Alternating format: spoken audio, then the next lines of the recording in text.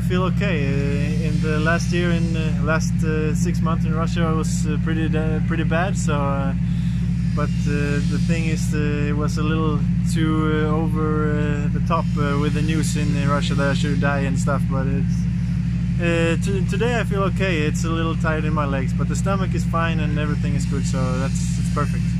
Uh, and what I maybe you can say what are your main memories about, the time, you spent in Russia in, in Russia in Mo- Mos- Mos- Moscow? I only have good memories from Moscow. It was uh, we had uh, some great years, and uh, I made a lot of friends, and uh, we won the league two times and the cup once, and so we we had some trophies, and we, we played good football, and I, this the football I miss in Russia it was was a great time in my life. Mhm. Uh, did you follow CSKA Mos- Moscow after you leaving the club?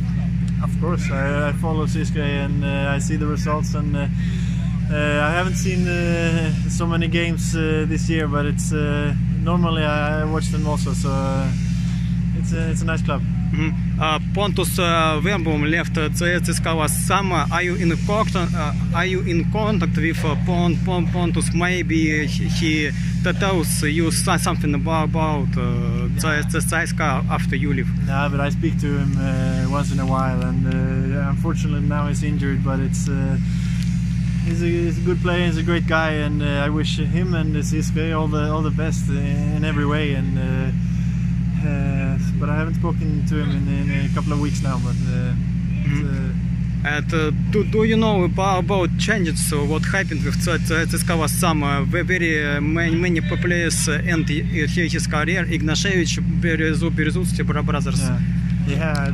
These were the, the guys that I played with, and uh, the legends of the club. And the, the they still have Igor, but it's uh, they, they lost a couple. But like I said, it's they still do results and they play well. So. Uh, that's uh, number one. But uh, this kind of players you don't find everywhere. It's uh, these are great, uh, great guys and great players, and uh, yeah, it's, it's hard to find. And uh, what can you say about two victories that CSKA ha- have against Real Madrid? It's, it's perfect. We know also CSKA also always have a strong team, and they have, now they have a lot of young, talented players, and uh, so why not? It's always nice to beat Real Madrid. Mhm.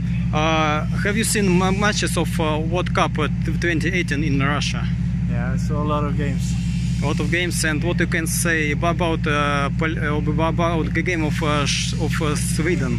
In, Sweden made a very good uh, championship in, in Russia, and also Russia at home. They played very well. And, uh, I, uh, I know some guys uh, like Fernandes and Igor and everyone, Dzagoev, and uh, so it was nice to. I followed Russia's games also everywhere, and uh, Sweden, of course. Mhm. Uh, did you get so surprised when you seen uh, Sergei Ignashevich at World Cup? He was uh, 38.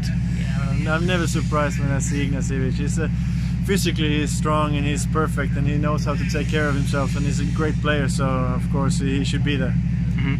And what can I say about uh, games of Russia and Sweden in the new UEFA tournament, League of Ni- Ni- Nations?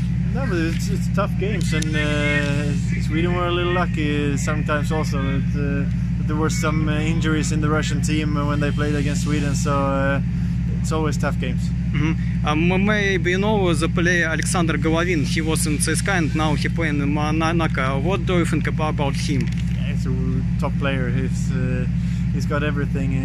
His touch is unbelievable. So uh, I have only good things to say about him. He's a, he's a great player. Mhm.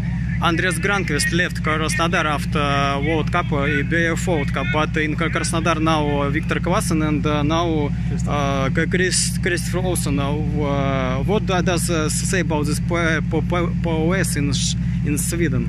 no, but Krasnodar is uh, now they uh, Granqvist and uh, put Krasnodar on the map in Sweden also. So now when we have uh, some Swedish players in Krasnodar, we, we know, and bo- bo- bo- both uh, Victor Claesson and Christoph Olsson is good players. So. Uh, and uh, I think Victor Claesson is ready for the next step also to take one step further. And uh, Christopher just came, so he's gonna have success there also. Mhm.